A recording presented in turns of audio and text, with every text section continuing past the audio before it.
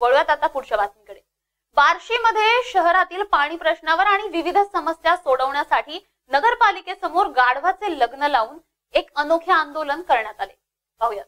बार्शीकरांना नियमित एक दिवसाआड पाणी पुरवठा करण्याबरोबरच सर्वपक्षीय नेते त्यांच्या नेतृत्वाखाली आज सकाळी शहरातील पेस्ट कार्यालय पोस्ट कार्यालय चौकातून बार्शी नगर परिषदेवर जन आंदोलनाचा भाग शहरातील जनतेला हक्काचे पाणी आणि सर्व सुखसुविधा मिळण्यासाठी सर्व पक्षीयांच्या वतीने मोर्चा काढून आंदोलन करण्यात आलं. शिवसेना नेते भाऊसाहेब आंधळकर म्हणाले की बार्शी शहराला नियमित एक दिवसाआड पाणी पुरवठा करण्यासाठी गुरुवारपर्यंत नगर परिषद प्रशासन वेळ देण्यात आला होता पण नगरपालिका प्रशासनाने या मागण्यांकडे दुर्लक्ष करून पाणी पुरवठा सुरळीत केला नाही.